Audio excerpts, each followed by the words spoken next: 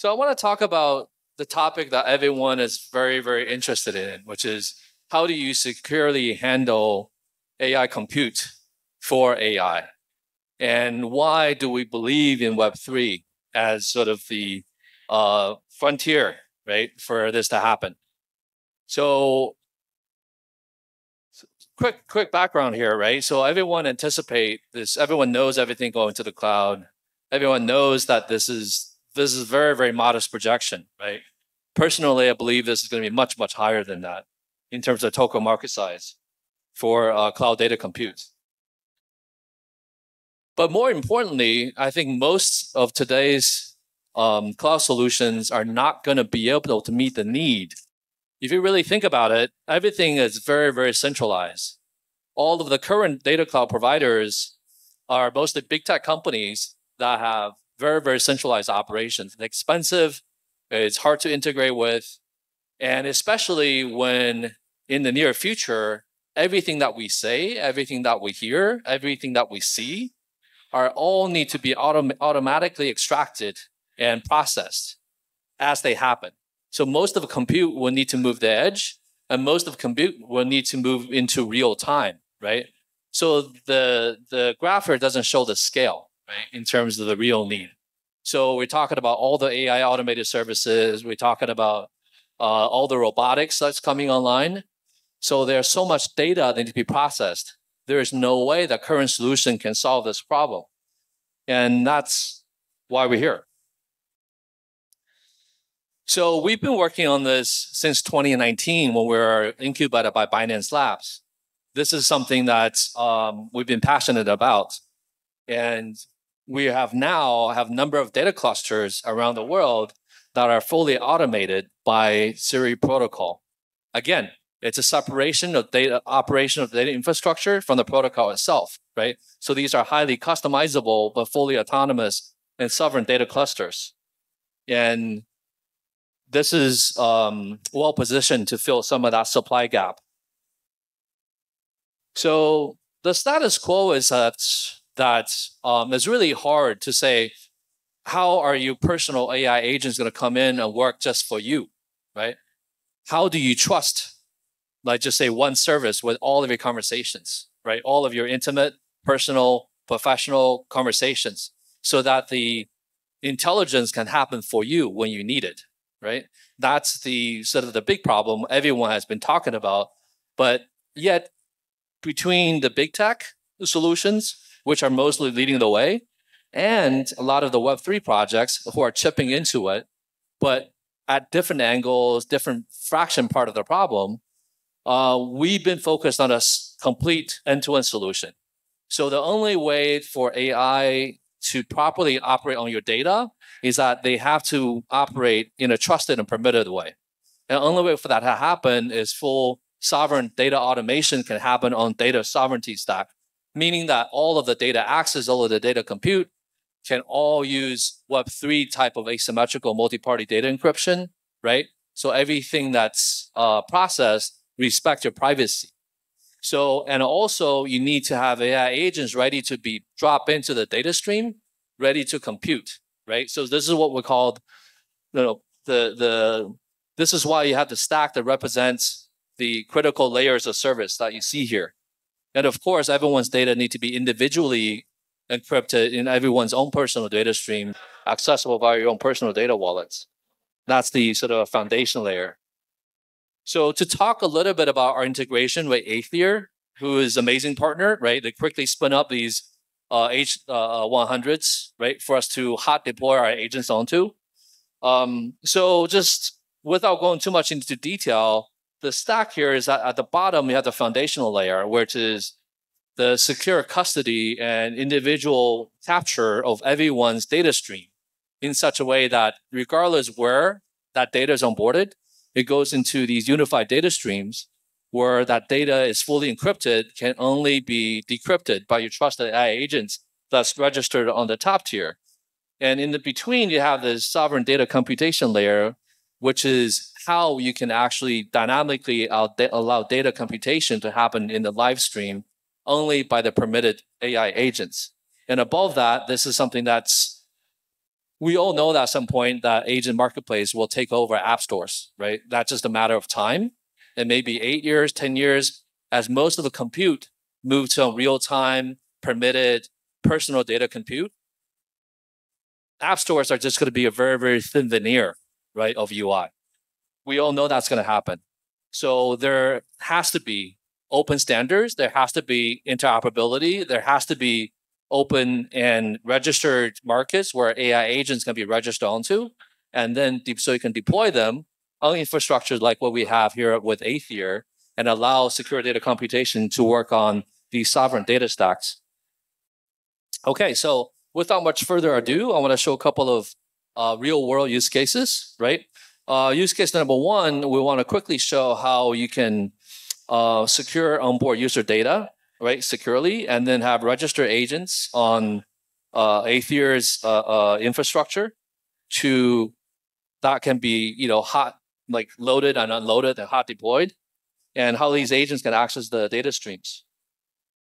Okay, so I'm going to quickly jump into it.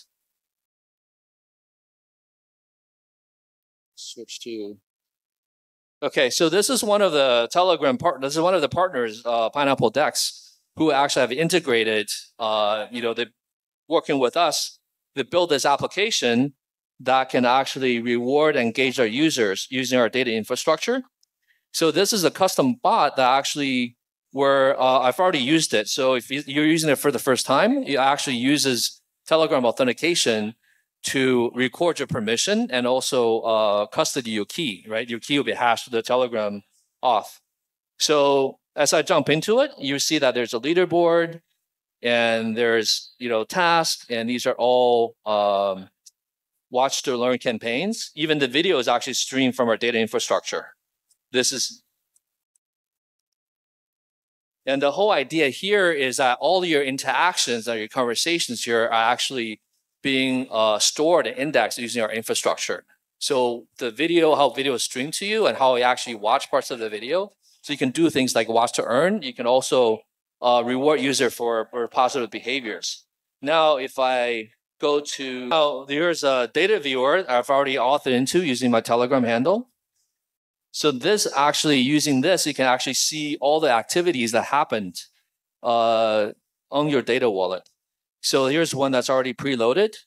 You see how the Wi-Fi is doing here. Let me just reload it here.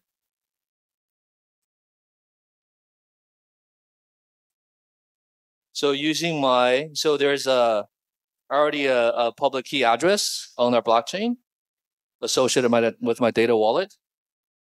If I hit load, you can see that this event just happened right now and it's fully encrypted. If I decrypt it, it shows that, hey, I just watched a video segment. Um, so this is how you can actually start recording everyone's data in a safe and privacy preserving way. So once you have this established, what we also have is this tool called ROB, it's real-time orchestration builder. What this does is allow us to register the, uh, there's an agent registry allow us to, to register agents. So in this instance, we have agents that are currently deployed and launched on uh, Aethir infrastructure that's ready to be invoked at any at any time. And on top of that, we also have um, the data streams, right? So any developer in the near future will have access to this tool. So these are all the data streams that come into the uh, the, the Telegram groups. And now on top of this, you also have these things what we call rafts. They're there to index the conversation dynamically. And you can see how this is actually deployed on top of that. And you can even, uh, in real time, allow these uh, engagements or AI engagements to um, allow the agents to actually engage and access that data. And this is the how the agents will be actually accessing and uh, processing that data as they come in to analyze using NLP models to analyze what is being said. Um, you can even use our sandbox, right, to uh, to run and experiment with it to see what happens if I send uh, an event to that, right? So it's a little slow, but you can see this is the output. Uh, you can also query it right in the data data stream. So this allows anyone to deploy AI agents right on top of personal, private, and um, sovereign sovereign data. Sorry about that. And also to show why data sovereignty matters in terms of powering data data interoperability, we have uh, a new campaign that's ready to launch by with Pineapple guys. There, they will actually allow people to bring in their conversations that's associated with their data wallets and to better personalize the service for um, each and every participant, right? This is kind of the hyper personalization that's missing from today's DeFi world and uh, financial world in general. So you can bring your data wallet, and the moment that you're authenticated with with Telegram, um, your the key insights that um, this DEX is really interested in, which is what tokens, what topics, what projects you follow, can be directly brought into your user experience, right? So that you it can customize your user experience for you. And this is just the beginning. So without diving into too much of it, I will um, quickly summarize that this is just the beginning, right? We've shown you um, there's a vast amount of potential here for us. We're just getting started. So the use case number two that I want to quickly demonstrate is um, how we're actually using the same technology to power on-prem data clusters for uh, enterprise and and sensitive uh, um, uh, enterprise data streams, right? So um, let me quickly.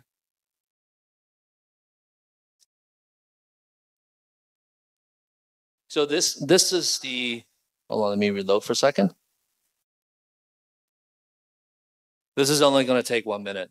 So this is um, a partner that has uh, drone operations that's deployed at many important uh, industry sites that need to uh, that uses its technology, uses our technology to have these AI agents to follow, to actually understand what's being seen, and it's in real time. Is recognizing uh, via these tiny little tags to see what uh, what cards and what material are inside these cards, right?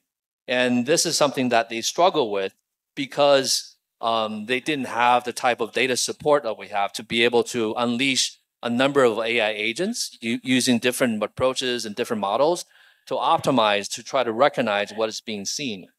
And as we recognize them, we can also run uh, real-time data enrichments to understand what's inside of those cars, right? So this helps them to optimize resources. So, um, so as we wrap up here, I just want to quickly uh, talk about why um, why this is so important to start thinking differently about the future. Why this is so early. There's so much value to be extracted for you know great projects like Aethir and us. We look forward to collaborate on many of these integrations in the near future. And also, we would like to invite everyone here to talk to us and uh, work with us. If you have problems, we'd love to help you solve them. Right? Uh, our our uh, uh, stack is ready to deploy. We're ready to work with anyone who's you know wants to talk to us and say, "Hey, can we solve this problem for you?" Um, so this is again something that's um, you know thank you for thank you again for Aethir team. I'm happy to talk, talk to anyone about what we've shown here. Thank you guys.